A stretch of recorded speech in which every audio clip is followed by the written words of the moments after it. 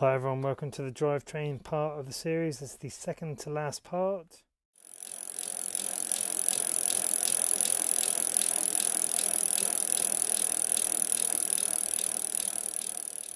We've got two chains because I thought it would be nice to have a spare one. I bought some new reusable links. So there's one for each chain. I'll do both of them.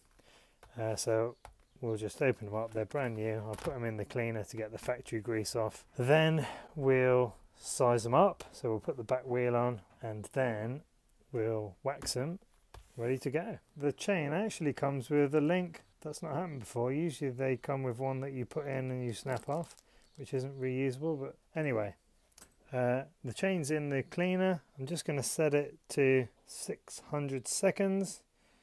Close the lid put it on and we'll come back Okay, so these quick links I found in the packet are not reusable. So says here, do not reuse a quick link. That has been removed. So we've got our chains out of the um, Sonic Cleaner. I've washed them. And they're just hanging, they've been hanging to dry. Okay, so I've loosely put the first chain on. As you can see, I've actually used the supplied link. I'm not going to use it when I'm riding because I'm going to be breaking it and remaking it probably three or four times during this process. Don't attempt to do it one-handed. So the tool's on, you just push these apart. As you can see there's an arrow on the link. That's not the direction of the link because if we look in the bag here they both point the same way. So the arrow points to the pin. Um, so we're going to take out two links to start with because you don't want to take out too many because you can't put them back. So if you're unsure, just take out one at a time until we get it tight.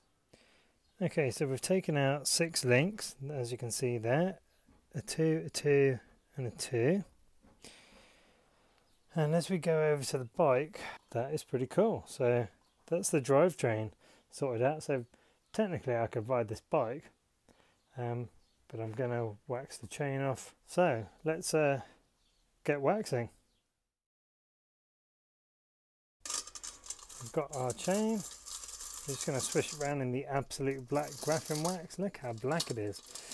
Um, just swish it around in there.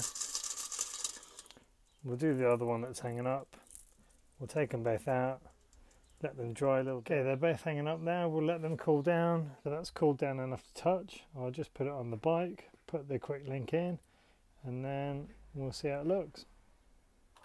Be a little bit clunky for 500 meters or so, just till all the links uh, go in. But yeah, that's cool. Great that.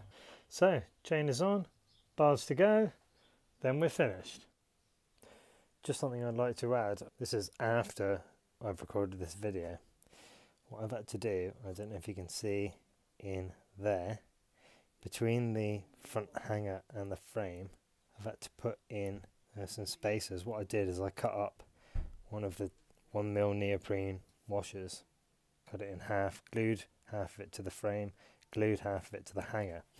The reason for that is so get this derailleur parallel with the chainring. The angle of the derailleur hanger makes the derailleur kick out like this and the inside of it was rubbing when it was on the big ring.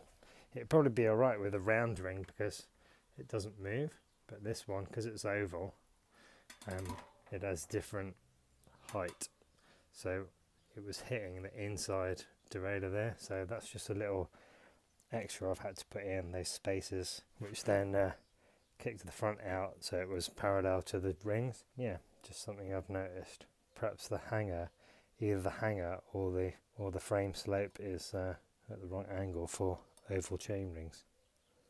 Thanks for watching. Give me a thumbs up if you like the channel. And we'll see you on the next Kyros House. Take care, bye.